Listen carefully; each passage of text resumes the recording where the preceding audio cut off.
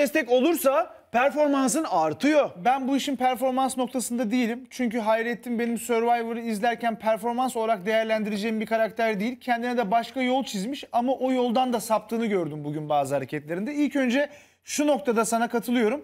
Ben de Barış'ın Ünlüler Adası'ndaki kaptanlığını beğenmiyorum. Arkadaşlarıyla olan konuşma şekli, diyalogları, tavırları hiç yapıcı değil bir kere. Adam yıkıcı konuşuyor. Sert konuşuyor. Bazen rencide edici konuşuyor. Farkında olmadan hedef gösterici konuşuyor. Doğan adlı bir arkadaşımız yani geçen gün dün bunu konuştuk zaten. Çocuk oynamak istiyor doğal olarak. Onunla sanki bir dalga geçer gibi bir konuşma üslubuna yani tabii ki çocuk niye geldi o zaman Survivor'a oynamak isteyecek. O tavrı beni rahatsız etti. Bugünkü bench'teki arkadaşlarına karşı olan tavırları beni rahatsız etti. Sempatik bir kaptan değil Ama bence. Furkan'cığım güzel Ee, söylüyorsun da tamam sen haklı Ha, olabilirsin. bu arada şunu da söyleyeyim. Evet. Sempatik bir kaptanın sempatik olmasına gerek yoktur. Kaptanlık görevlerini doğru yerine getirebiliyor mu dersen ben onları da çok ye- doğru yerine getirebiliyorum. Tamam ama En bak, önemli özelliği eşitliktir o yok. ama bir dakika Eşitliğinde güzel bir olmadığını şey düşünüyorum. söylüyorsun. Bak şöyle e, tamam. devam Yok, et. yok, sen Yo, yo, söyle. merak ettim abi merak ettim. Güzel bir şey söylüyorsun da şimdi hani bu ne periz bu ne lahana turşusu denir ya. Şimdi güzel konuşuyorsun da kaçıncı kez seçiliyor Barış orada kaptan? İşte zaten Seçilir. Seçilir Bir dakika, abicim. ama Niye bir dakika, seçilir? Ama bir dakika şimdi bir şey söyleyeceğim. Seçilir diyorsunuz da şimdi tamam belki ben de Furkan'a katılıyor olabilirim. Barış'ın orada iyi kaptanlık yapamadığını bir takım problem tamam orada ben de katılıyor olabilirim. Ama kardeşim adada kaç kişiler orada o kadar takım içerisinde her gün Barış kaptan, Barış kaptan, Barış kaptan, Barış Talip kaptan. yok, talip- aday Dedikleri- yok. Ay, talip yok diye bir Aday şey yok, aday. Hayır hayır olur mu? Hayır olur mu? Talip olabilir ama diyorlar ki barış olsun. Şimdi o kadar kişi adada niye o zaman biz burada böyle görüyoruz onlar da orada görmüyorlar mı da her gün her gün barış kaptan olsun diyorlar. Orada da şöyle, bir problem ne var. oldu abi? Şöyle Heh. bir durum oldu. İlk başta Barış Kaptan seçildi. İlk oylamaları Tamam. sayma zaten. Kimse Evet. kimseyi tanımıyor. Ondan sonra oylamalarda sapmalar yaşanacaktı. Nitekim İlayda'da Batuhan'da farklı oylar gördük. Batuhan geçen gün Öykü'ye oy verdi ki bence çok doğru bir isim. Ben başından beri iki haftadır burada Sema ile de aynı fikirde olduğumuzu düşünüyorum. Evet. Öykü'nün bu takımda kaptan olması gerektiğini düşünüyorum. Ondan sonra zaten Barış'ın Batuhan'a karşı da tavırları değişti. Kaptanlıkta Batuhan Öykü'nün ismini söyledikten sonra. Bana sorarsan artık hani biz bir yola girdik. Sırf ben burada ayrı gayrı olmasın. Böyle geldi böyle gidiyor olsun diye Barış'a attıklarını düşünüyorum ve hata yaptıklarını düşünüyorum. Bence iş bir yerden sonra dönecek. Şimdi Barış'ın kaptanlığında ayrıca bunu ayak uyduran yer yer İsmail, bazen bugün Hayrettin yeni yarışmacılara olan tavırları, davranışları hiç hoş değil. Zaten ünlüler takımı evet bugün kazandılar ama buradaki ben en büyük tebriğimi bir kere Öykü'ye gönderiyorum. Final oyununa çıktı.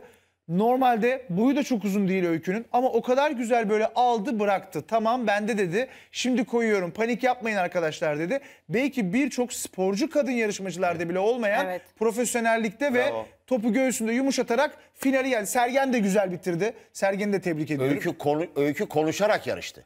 Konuşarak Evet, Bak ben mesela ben mesela hiç konuşarak yarışan şu baktım bugün hiç konuşarak yarışan yok. Hep kenardan birileri bağırıyor bağırıyor böyle bir panik. Evet, çok güzel Öykü yönlendirdi. satranç oynar gibi konuşuyor mesela. Batuhan sendeyim diyor, Batuhan sendeyim çekiyor, diyor. Aldım, sendeyim, verdim, bravo. Aynen. ikiye bir yaptım.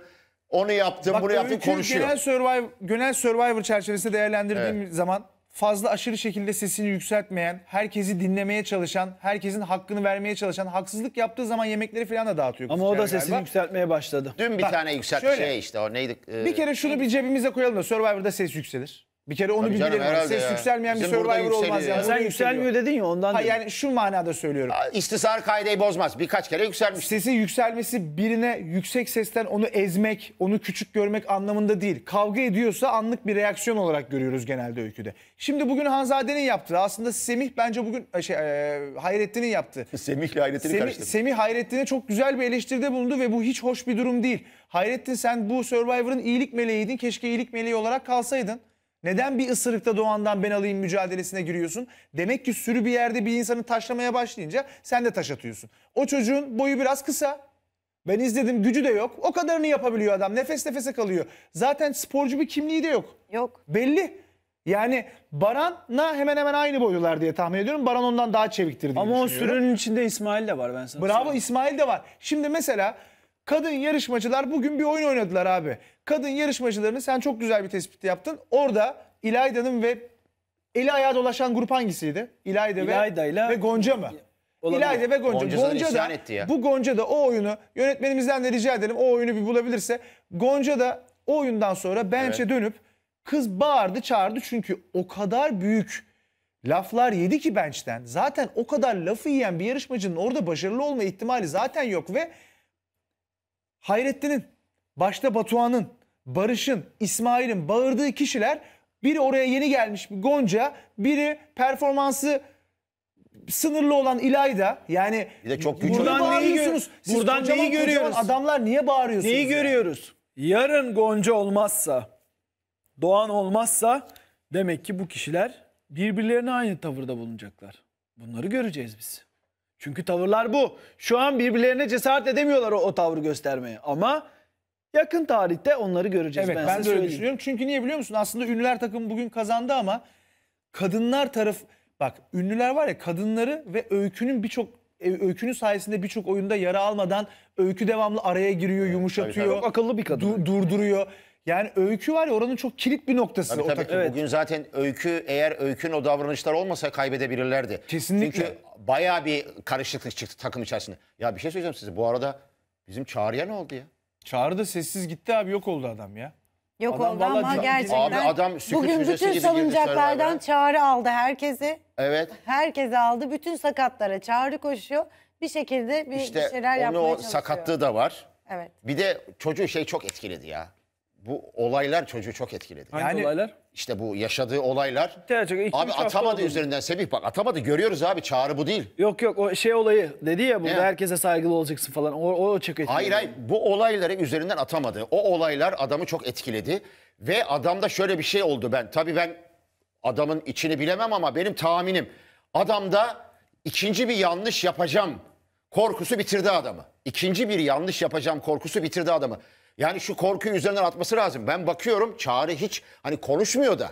Yani bir şey söylemiyor tamam sakat oynamıyor ama sadece e, çok güzel arkadaşlarına yardım ediyor. O huyu çok güzel. Mesela orada biri sakatlandığı zaman hala ona gidiyor. Onunla ilgileniyor falan ama yani ben Çağrı'nın daha aktif olmasını ve Survivor'a damga vurmasını beklerken bir hata yaptı. O hatadan sonra bir türlü kendine gelemedi adam.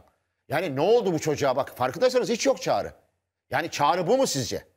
Bence değil. Şimdi ama tanıtımda oldu görüyoruz çocuğa. bayağı oyunun içinde. Ne hangi tanıtımda? Tanıtımda Şimdi bu en son tanıtım Evet. ne yapıyor? bayağı bağırıyor oralarda. Yine eski alevleri var. Ya bazen insanların yükseldiği düştüğü anlar olur ama ben de Çağrı'yı oyun içinde görmek isterim. Bilmiyorum yani bir kendine de gelmesi oyun lazım. oynayamıyor ya. Oyun oynayamayan adam da haliyle böyle içine kapanıyor. Survivor burası.